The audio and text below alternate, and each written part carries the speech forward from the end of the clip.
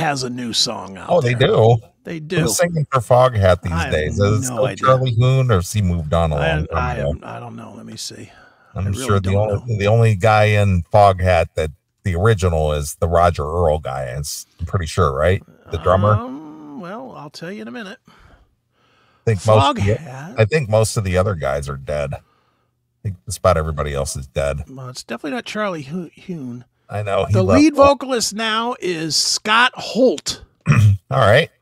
It's Scott Holt, Rodney O'Quinn, Bryan Bassett, and Roger Earl. Okay. That's the band now. All right. But they have a new a new album and song. You're gonna love this. The title of both on tonsils and sneakers.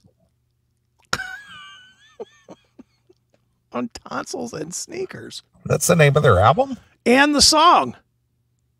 That's the that's the song that they listened to that they were like, this is so good that we have to lead off. We have to name our album after this song. Okay. Now, let me give you a little backstory. I'm not going to read the article or anything, but here's the This is, backstory. this is this is eagerly awaited by, Oh. by You know, there are people lined up at whatever record stores are still open trying to get that new Foghat album. But here's even more of a, to me, a stupid catch.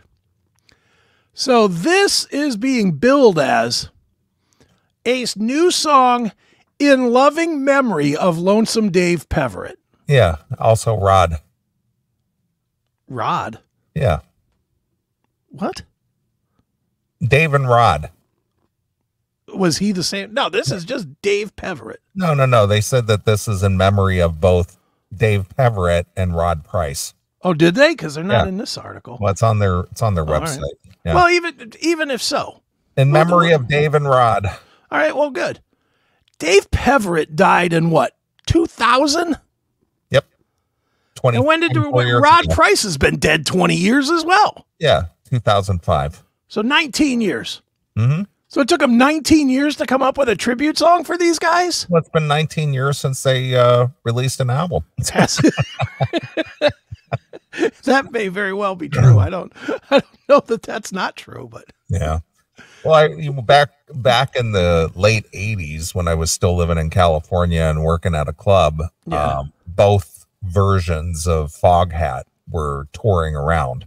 okay. And the Dave, the Lonesome Dave Peverett version of Foghat uh, was touring, and and the uh, the Roger Earl lineup of Foghat was touring, and uh, Okay. they were both, uh, you know, we had both of them at the club at one point, but